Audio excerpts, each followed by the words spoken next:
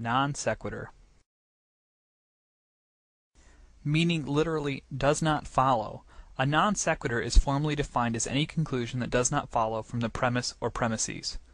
We use non sequitur to specifically refer to arguments that do not follow from any logical train of thought. Often no real connection exists from these non sequiturs to any version of reality. So who better than Kirk Cameron on the Bill O'Reilly show to exhibit the paramount of logical disconnect? And now for something completely different. Plus, Darwin said in order to prove evolution, which is the number one alternative to, to, God, you've got to be able to prove transitional forms, one animal transitioning into another. And all through the fossil record and life, we don't find one of these. A crocoduck. There's just nothing like it. Red herring. A red herring is not so much a logical fallacy as a distraction technique. In response to an opponent's position, an irrelevant point is made. It can even be a valid point, but it does nothing to address the issue. The red herring is another common creationist tactic. Watch as John Pendleton dodges an argument about the age of natural fossils with the discussion of a boot. Some say, well, you need a long period of time to make fossils. Well, there's lots of fossils out there. Here's one of my favorite ones. This is a cowboy boot. This was found in West Texas. And uh, the right-hand image here, we see that the poor cowboy broke his leg, and his leg and foot stayed inside the boot. Now they did a scan of the toe section. All five toe bones are in there. It's all fossilized. This was found in the 1980s. Argument from personal incredulity. In this fallacy, one argues that because they do not personally find a premise to be likely or believable, it cannot be true, regardless of evidence.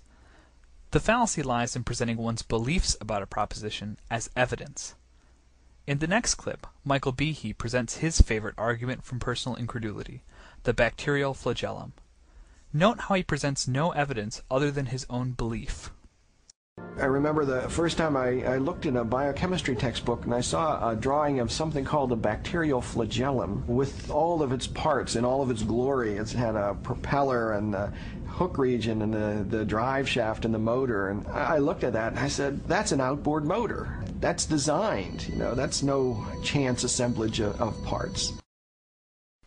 Argument from ignorance. In this fallacy, an appeal to ignorance is made, as one argues either that a premise is true only because it has not yet been proven false, or that a premise is false only because it has not yet been proven true. The God of the Gaps argument usually begins with an appeal to ignorance. The Orange Lady stumbles through an appeal to ignorance as she claims science has not yet given a good explanation for abiogenesis, which is true, but absence of evidence is not evidence of absence. How did life begin on Earth? Evolution tells to this question that life began on Earth with a single cell suddenly appears. But we know that there is no room for chance in nature. Not even a single person could ever build a single cell with the advanced technologies of 20th century. Violation of the philosophy of science. Ah, this is one of our favorites.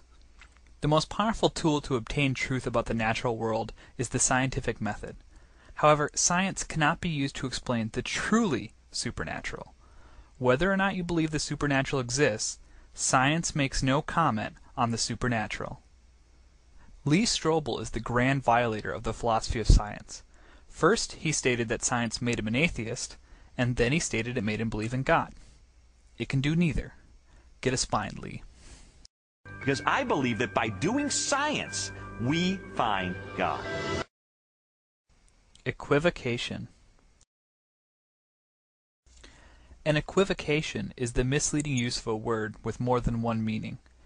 In creationism arguments, the most common equivocation is the word theory.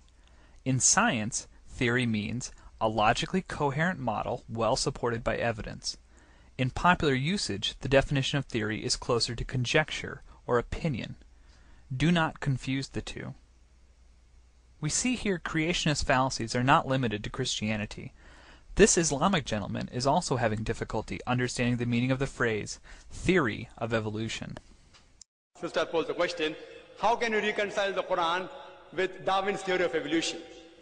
Sister, I have not come across any book which says fact of evolution. All the books say theory of evolution.